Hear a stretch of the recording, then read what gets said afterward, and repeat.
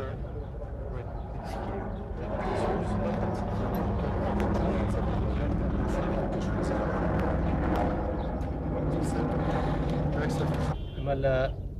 فرانسي ديسمبر 2002 لندن پیش رو رجيم شعاري مصالحي وطني من برس كرده و و استرش ملا سرمان هلوستین بلام معناکه اویه اوانه که لحکم دابونو تاوانبارن بە کوشتنی بە کۆمەڵی خەڵکی عێراق. و ئەو زۆڵ و زورداریە کردووانە ئەمانەبی بدرێنە دادگا. ئەوانەی تر ئەبی فرسەتیان پێ بدرێ بەڵام نابی واجی هەبن. ئەوانەی تاوانیان نەکردووە فرسەتی ژیانیان پێ بدرێ لە عێراق. بەڵام نابی واجی هەبن. ئەوانەی کە الواجی هەبوو بن لە ڕژێمی دیکتاتوری ڕووخاوتن تاکیدیشی بوو بکەمەوە هەرچوون.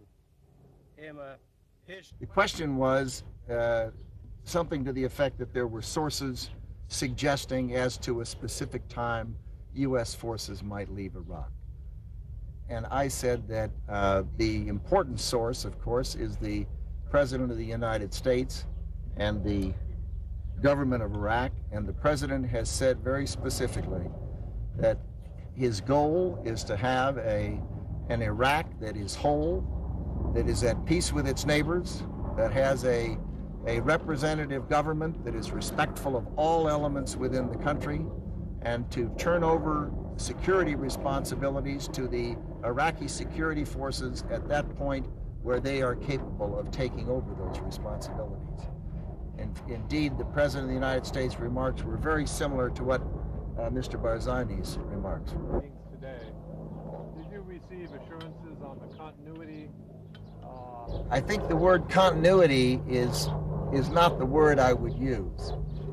What what the United States wants to see is what the Iraqi people want to see, and that's the an end to the insurgency and the development of the Iraqi security forces to the point where they're capable of assuming responsibility for security uh, for the Iraqi people.